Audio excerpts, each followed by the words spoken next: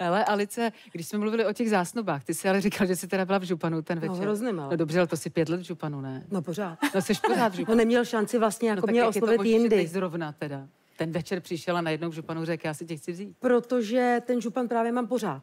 Takže vlastně neměl No, jako... tak čím si ho neměl po těch pěti letech? Já nevím, jako to opravdu jsem na to No nepřišla. dobře, tak proč jsi řekla, že ano?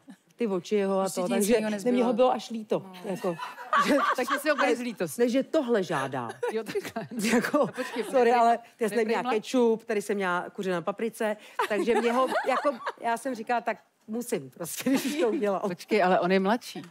Ano, po pár let, O kolik? O 13. O 13 let je mladší? No, no, no. Ježíš, to vypadá mnohem hůř. Jo, Tento a další stovky oblíbených pořadů sledujte na iprima.cz. Je na co se dívat.